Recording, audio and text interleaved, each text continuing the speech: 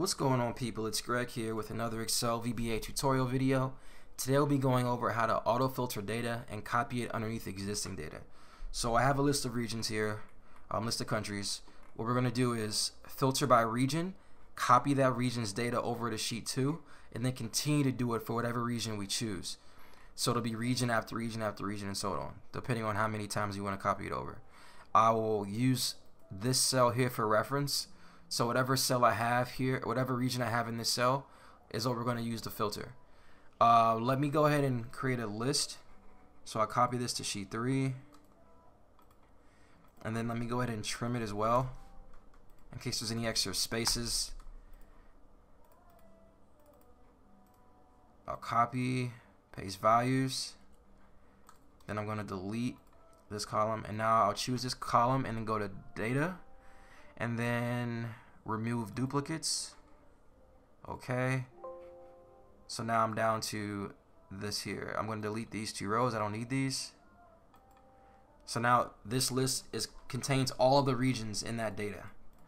So now what I'm going to do now is go here to cell F2 go back to the data tab and then I want to click data validation and then allow a list and the source is going to be this. Press enter. Okay. So now I have a list of regions to choose from. Alright. So for the sub, let's call this sub copy data under data. And we'll declare our variables. So we're going to count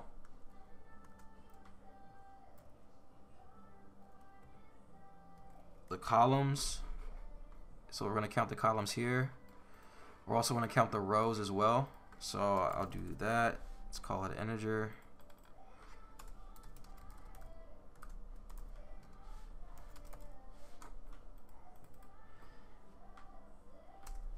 I also want to check to make sure that this sheet is blank whenever I'm copying something over here. So I need to account for this, this header. I don't want to count, copy this header over every single time, just once. So I'm going to have a, a variable called check header. Alright. And then I'm going to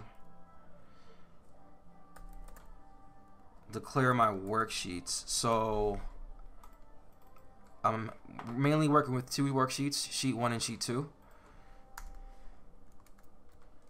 I'll call the first one or, uh, original, short for original. So this will be orig, short for original. Um, then output, which is sheet two. It's what my output's going to be. All right, so I'll set orig equal to sheet one. So what I'm going to do is I'm going to use this name here so that this can be called anything. So I can change this to whatever I want. So I can call this raw data. Uh, I can call this filtered data.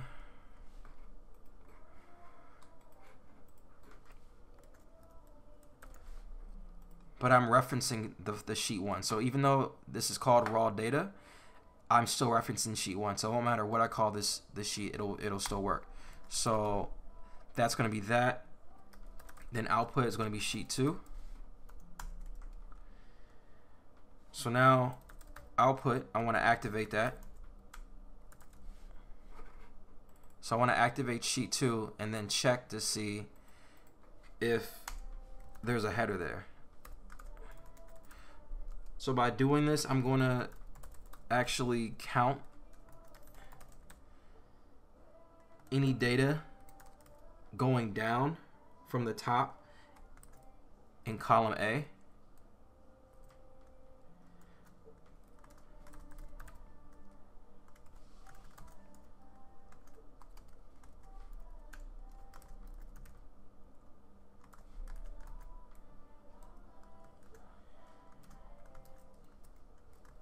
So then I'm counting down.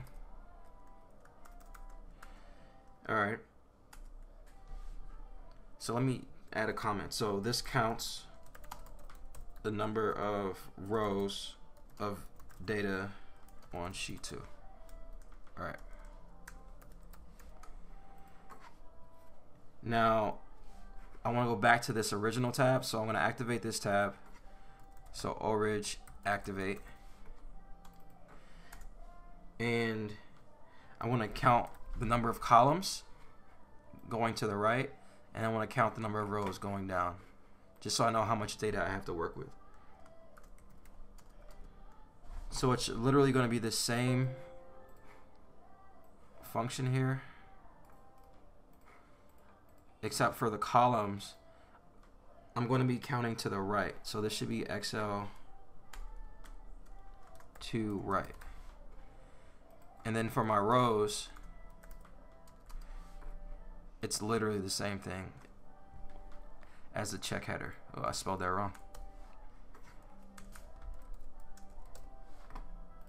Alright. So we'll comment here. So this counts the number of rows and columns of data on sheet 1. Alright. So now I'm going to filter the data. So on my active sheet, which at this point is sheet 1, I'm going to use range and my range starts here at A4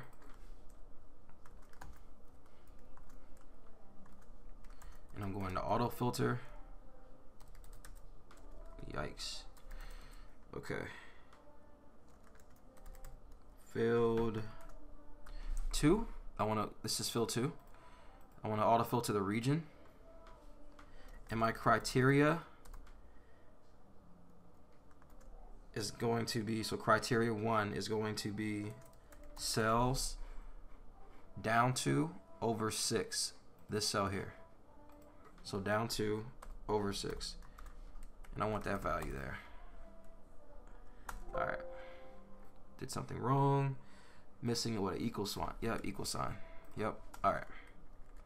So comment filters data on sheet 1 based on region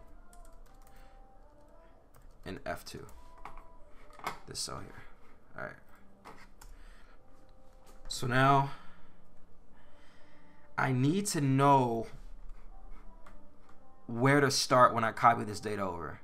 So I can't always copy this header over here because it'll look crazy if I stack those headers on top of each other. So I need, need to know when I, when I need to start here or start here. So let me add another variable and I'll call it position. Let's shorten it so POS.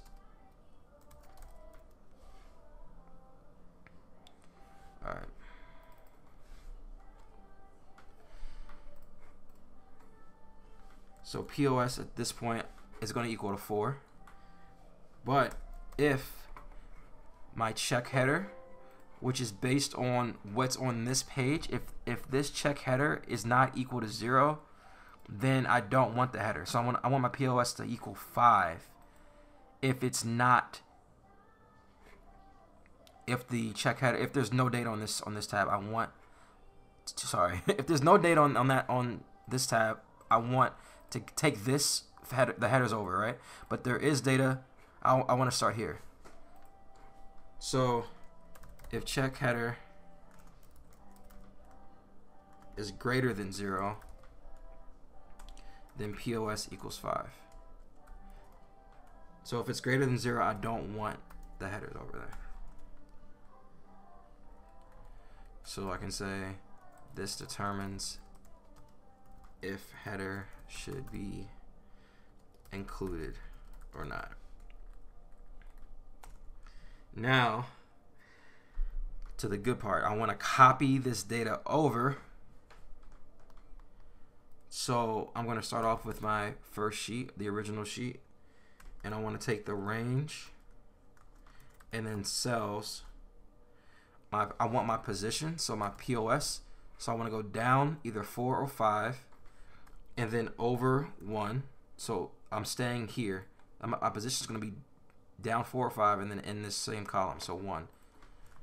And then cells just going to be the furthest to the right, and then the furthest down, which we captured here with our count column and count rows. So count row, so furthest down, and then count column furthest to the right. All right. And let me go ahead and continue this on to the next line. I think I'm going to run out of space. So I'm going to do underscore to continue this line. So now I want to do special cells XL cell type visible. So I only want to copy the visible cells after I filter the data.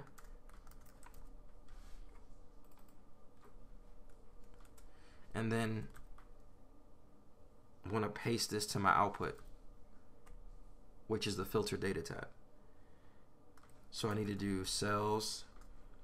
And then I want to go down to whatever the check header number is plus one. So if there's nothing here, check header is going to be equal to zero. So one will give me this position. If I have data coming down at this point, my check header is going to be equal to 14. I want to start at 15, so I want check header plus one in every in every case. So I'll do check header plus one and then I'm starting in this column so one is my other position. And then I'm just going to paste that. So I want to do a paste special. And I just want to paste the values. So XL paste values. So then I'll just go ahead and turn off the cut copy mode. So make that equal to false. And then this data is going to be filtered. So I'm going to take the filter off. So what that what you have to do is orig which references sheet one, raw data, all the same thing. I'm going to show all data. And then uh, auto filter mode, make that false. And then I'm going to activate this sheet so that when the macro's done, you'll see whatever the output is. And then say the cursor's over here somewhere, I'll just go ahead and make it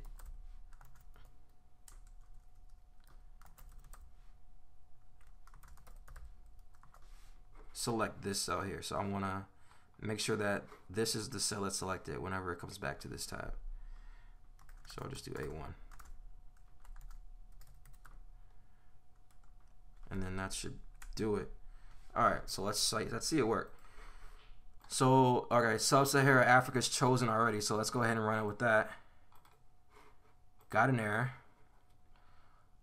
Spelled auto filter wrong, of course. All right, try it again.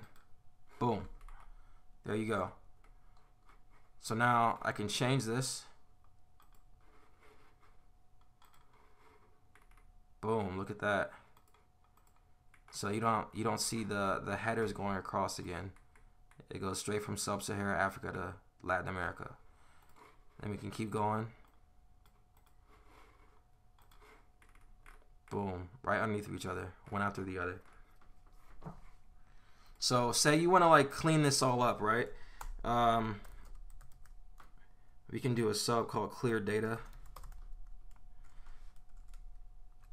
And just quickly just reference sheet 2, cells, clear contents, and then, yeah, let's do that. So if I run it, and go here. It's all blank now. But I can do what I did here. I can just activate sheet 2. Activate so that it opens that sheet after it's all said and done. So I'll run this one. Got that there. Now if I run this and I'm on this tab, it'll clear the data and then end on that tab. You can even add some buttons here. Let's do what happens when I put in clean. Oh, I can use this here.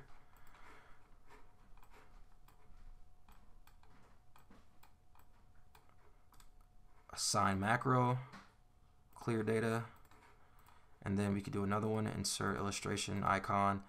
Let's do what filter or let's do a copy, copy. Let's do that.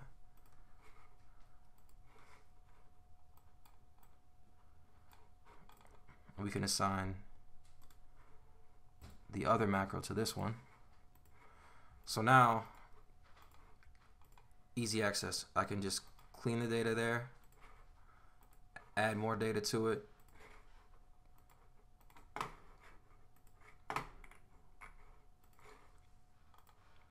So this gives you more freedom to add multiple regions, one after the other, in whatever order you want.